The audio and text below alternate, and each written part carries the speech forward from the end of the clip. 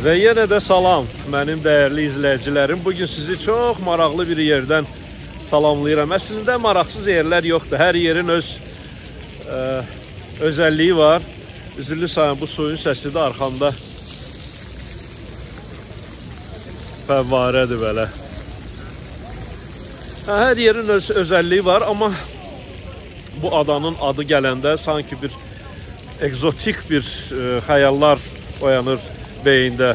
Maltadan gedir söhbət. Malta, Malta ə, fərqli adlandırırlar onu, tələffüz edirlər. İstanbula getmişdim toplantıya. 2 gün orada qaldım. Sosial şəbəkədə yazmışdım bu haqda. Önəmli bir tədbirə getmişdim. Və fikirləşdim ki, oradan Maltaya yaxındır. 2 saat, 2 saat yarımlıq uçuşdur. Və gəldim bura. 2 saat dediyim kimi 2 saat yarıma gəldim, çatdım. Və gələndə biraz incitdilər məni e, sərhəddə. Nəyə görə? Çünki e, otelin rezervasiyası ilə dönüş biletini tapa bilmirdim telefonumda. İnternetlə biraz problem yaşandı. Və məni apardılar ayrı otağa, sorğu-sual elədilər. Sonra internetə qoşuldum, biletləri tapdım, üzr istəyib buraxdılar. Gəldim otelə yerləşdim. Otelin sizə göstərəcəm. Çünki e, çox maraqlı bir oteldir. E, tarixi binadır. Vaxtilə saray olub. Sonra sahibi onu dəyişib, rekonstruksiya edib, e, otel edib içində.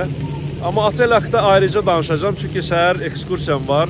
Otelin sahibi söz verib ki, gəzdirəcək məni oteldə. Çox cazibəli oteldə. Həyətdə də e, balaca belə masala balaca həyəti var. Amma nəyəsə haşiyə çıxmayım. E, gəlmişəm Maltaya. Malta respublikadır, 3 adadan ibarətdir. Ən böyüyü Malta adasıdır və e, Malta Respublikası adlanır. Rəsmi adı belədir, Malta Respublikası. 1974-cü ildən bəri müstəqildilər.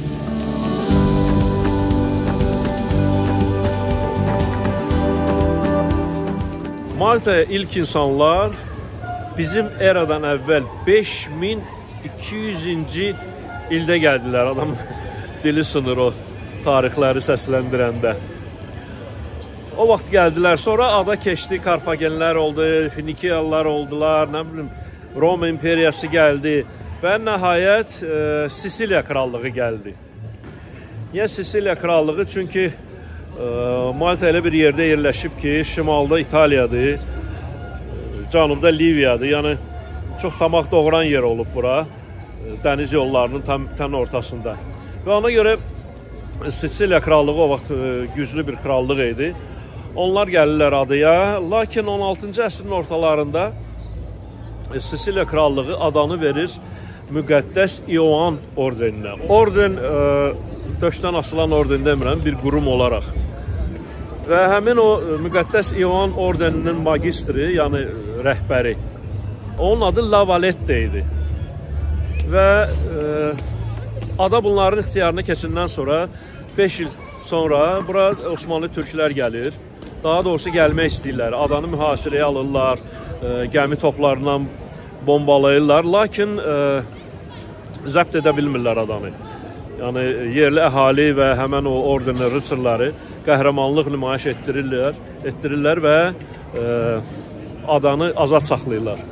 Yəni türklər çəkilməli olurlar geri. Bundan sonra o Ləvalet də ə, anlayır ki, burada böyük şəhər salmaq lazımdır və o şəhər yalnız şəhər kimi deyil, istehkam kimi ə, e, inşa edilməlidir. Və beləliklə şəhərin bünövrəsi qoyulur və adını qoyurlar Valetta. Əvvəllər ə, e, bir 1970-ci ilə qədər elə şəhərin rəsmi adı da belə idi, La Valetta, lakin indi sadələşdiriblər, sadəcə Valetta deyirlər. Yəni deyirlər deyəndə ki, rəsmi belə gedir. Və burada şəhər salırlar və şəhəri çox ə, e, ciddi qaydalarla salırlar. Dərhal bir departament yaradırlar, şəhər salma departamenti və o ə, e, departament ciddi nəzarət edir. Məsəl üçün evlər bir sıra ilə olmalıdılar. Hər evin küncündə skulptur olmalı idi. Hər bir həyətdə ə, e, çənlər olmalı idi yağış suyunu yığmaq üçün. Ə, sonra küçələrdə kanalizasiya arxları olmalı idi. Yəni belə çox ciddi yanaşırlar və hətta şəhəri salanda elə düşünürlər ki, ə, e, dənizdən meh gələndə yerli xəzri, yerli gilavar. E, səmtindən asılı olmayaraq küçələri elə salıblar ki, bura elə bir ki, ventilyasiya effekti verir, kondisioner effekti verir. Harda dursan, mütləq yel var. Yəni mütləq orada hava əsir, yəni belə istilik yoxdur. Sonra isə nəhayət 18-ci əsrdə, daha doğrusu 17-ci əsrin sonlarında bura Napoleon gəlir. Napoleon gəlir, amma e, Napoleon tərəfdarları burada çox olur. Onu sevənlər çox olur. Ona görə onlar müqavimət göstərmirlər və ə, e, şəhər salamat qalır. Yəni dağıtmırlar, heç kim bomba atmır bura. Amma Napoleon çox olmur burada. Cəmisi 2 il. Yəni Napoleon deyəndə Napoleonun Fransasını deyirəm. Cəmisi 2 il olur burada. 2 ildən sonra 1800-cü ildə yerli əhali anti-Fransa üsyanına qalxır və fransızları buradan qovurlar. Onları qovan kimi bura ə, bura ə, dərhal ingilislər gəlir, Britaniya imperiyası gəlir və Britaniya imperiyasının təsiri burada ə, hiss olunur. Hər addım hiss olunur. Məsəl üçün mən hava limanından düşdüm, gəldim, taksiyə oturdum. Yaxınlaşıram sağ tərəfdən görürəm taksi sürücüsü gülür. Deyir, Avropadan gələnlərin hamısı belə bu səhvi buraxırlar. Yəni burada sükan sağ tərəfdədir. Britaniyada olduğu kimi. Ondan sonra ə, rozetkaları məsəl üçün Britaniya sayağıdır. Əziyyət çəkirəm mən açıq buna görə. Yadımdan çıxıb evdən gətirməmişəm o Avropa rozetkasından Britaniya rozetkasına keçən. Odur. Sonra telefon butkaları, qırmızı ənənəvi Britaniya butkalarıdır. Sonra poçt qutusu, Yəni Britaniyanın təsiri hiss olunur. Bəzi elə məhəllələr var ki, gəzirsən, elə bilirsən ki, Londonun bəlkə bir ə, hansısa bir parçasıdır. Bax belə. Yenə də indi çıxmışam bu şəhərin əsas mərkəzi küçəsidir, ə, Respublika küçəsi. Ən belə baxımlı, ən görkəmli, ən maraqlı, ən canlı, ən dinamik küçə bu küçədir. Gəzirəm və Burada gəzəndə həmişə başın yuxarı olmalıdır. Çünki e, Maltanın balkonları dillər əzbəridir. Gedək ekskursiyamızı davam etdirək.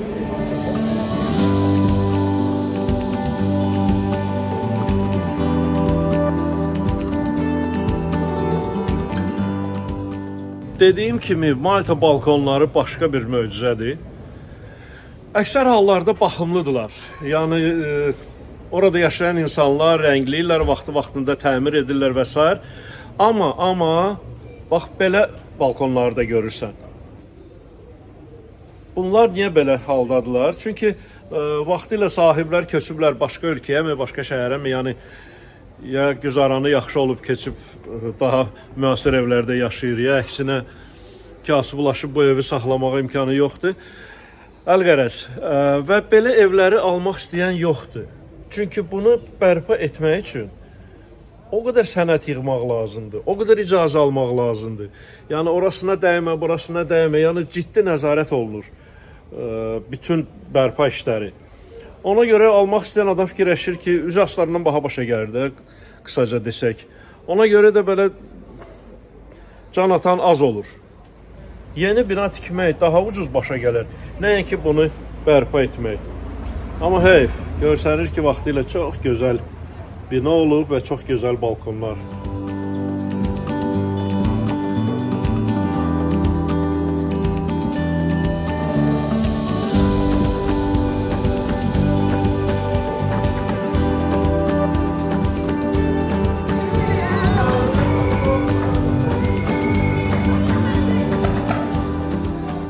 Məhkəmə binasıdır. Şəhərin mərkəzi küçəsində yerləşir Respublika küçəsi. Bu məhkəmənin binası 2-ci Dünya müharibəsi zamanı tamamilə dağıdılmışdı. Almanlar bura o qədər bomba atmışdılar ki, yerlə yeksan olmuşdu. Sonra 2-ci Dünya müharibəsindən sonra binanı bərpa etdilər. Amma onun e, vitfason deyirlər də, vitfasonu dəyişdilər və neoklassik üslubunda tikdilər. Yəni əvvəlki görkəmli qaytarmadılar. Yəni, belə məsləhət bildilər.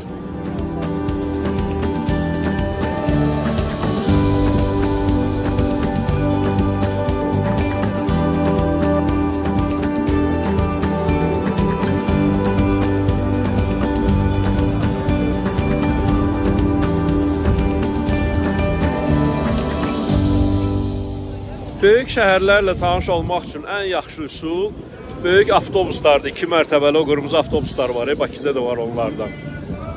Amma balaca şəhərlərdə e, yollar ki dardır, balaca da avtobuslar yerləşmir. Ona görə içəri şəhərdə bax belə elektromobillər, elektra qatar daha doğrusu. Onlar hərəkət edirlər. Özü ucuz da onlar Mən bir birinə mindim, 25 dəqiqə fırlatdı şəhəri, 5 e, avro cəmisi pul aldı. Yəni nəzərinizdə olsun. Amma biraz qırağa çıxırsan, indi oxudum mən internetdə, deyir o böyüklərdən də var. İstəyirəm onu da minim. Onlar rahatdır da, orada qulaqcıq verirlər, müxtəlif dillərdə tərcümə filan. Ona görə məlumat üçün onlar daha yaxşıdır. Bu isə oturursan, belə də xala xətrini dəyməsin. Gedək.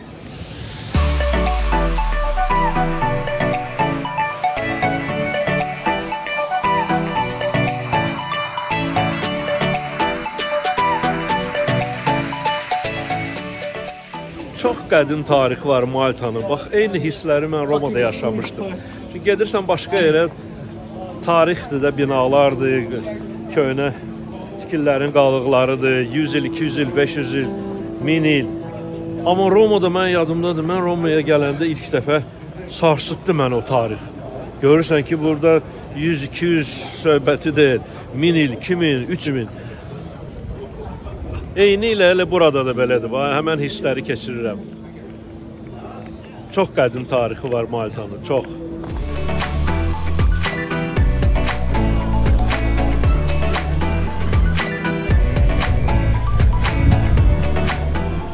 bu istehkamları deyirdim. Baxın. O Lavaletta inşa etdirdiyi. Görün necə monumentaldır bunu. Bunu dağıtmaq olar.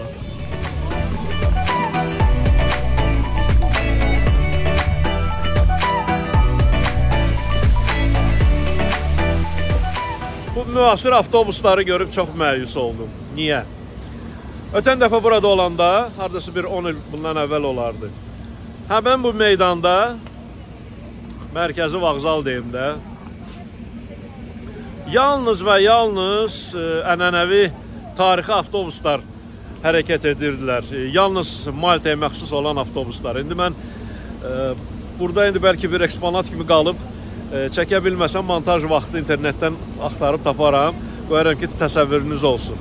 Və əfsuslar onları əvəzlədilər bu müasir avtobuslarla. Yəqin ki, indi sərnişinlər üçün əlbəttə ki, müasir avtobuslar kondisionerli filanlı, onlar daha rahatdır, amma mən məyus oldum açığı, çünki o Maltaya xüsusi bir özəllik qatırdı. Amma nə edək, zamanı tələb edir. Yenilər gəlir.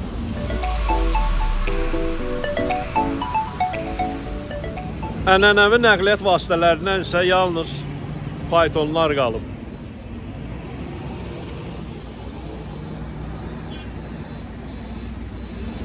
avtobusları yığışdırdılar, faytonlar qaldı. Hərçəndir, faytonların da nə kondisioneri var, nə xüsusi bir rahatlığı var. Amma kalorit üçün saxladılar. Gəri avtobuslardan da heç olmasa bir 3-4-ünü saxlayardılar. Soruşdum o faytonun qiymətini. Dedi 60 avrodur, sənin üçün 50. yəni 10 avro dedi, endirim edərəm. Əli bir minnət də elədi mənə. Amma razı olmadım. Çünki həmən marşrutla gedir. Mən 5 avro verdim. O elektrik balaca qatara mindim. Həmin marşrutla bu gedir. O 5 avroya gedir. Bu 50 avroya. İndi aydın da egzotikadır, amma indi daha biz də fayton görmüş haldıq. Ona görə qənaət etdim.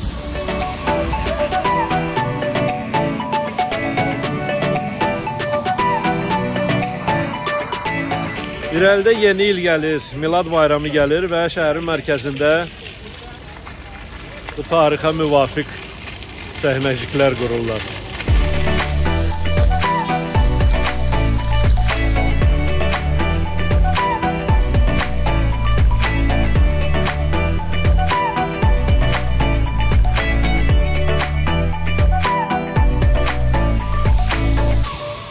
Səhər çox sərin idi hava, indi biraz isinib. Bura Baraka bağıdır. 1600 neçənci isə ildə bura böyük bir qalanın tərkib hissəsi kimi Valettanı qoruyan istehkamların bir tərkib hissəsi kimi inşa edilmişdi. Lakin sonra 19-cu əsrdə artıq əminamanlıq bərpa olunandan sonra burada bağ saldılar. Fəvvarə düzəltdilər, monumentlər qoydular, skulpturlar və s. Və buradan şəhərə ən gözəl mənzərə açılır. Siz də baxın. Şəhərə deyəndə ki, körfəzə. Topları görürsünüz. Vaxtı ilə adanı qoruyan toplar bugün salit toplarıdır. Yalnız salit vaxtı özdə elə bir səsli köylü partlayırlar ki, yer sirkələnir. İndi bu dəfə bilmirəm düşəcəm üstünə ya yox. Keçən dəfə yadımdadır. Tiksinmişdim.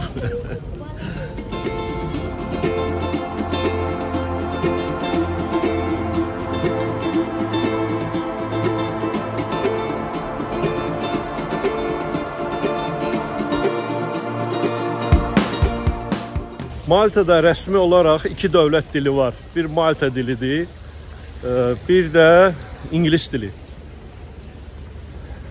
Amma rəsmi dili olmasa da e, İtalyan dili çox işlənilir burada. Yəni İtaliyadan gələnlər çoxdur, İtalyanlar çoxdur, burada yaşayanlar, turistlər və s. Yəni küçə ilə gedirsən, belə eşidirsən, İtalyan dilini tez-tez eşidirsən böyük belə səsküllü kampaniyalar olanda bilirsən ki, İtalyanlardır. Yəni, bizlərlə oxşarlıqları çoxdur.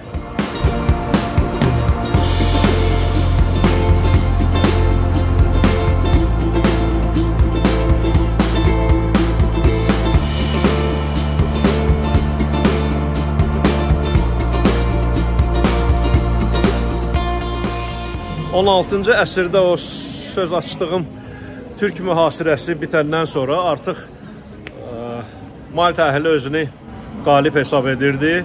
İnsanlar zənginləşirdi, ticarət artırdı, sülh gəlmişdi və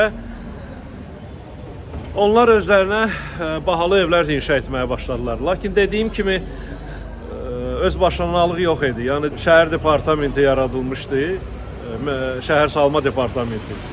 Və onlar ciddi nəzarət edirdilər. Kim nə tikir, necə tikir, Bayaq dedim də sizə, e, hər bir evin küncündə skulptur olmalı idi.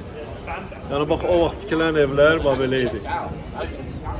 Skulptur həyətin içində yağış suyu yığmaq üçün çən, mütləq qaydada kanalizasiya arxı, zibil atmaq üçün xüsusi yerlər, yəni 16-cı əsrdə onlar ə, e, belə şeylər haqqında düşünürdülər.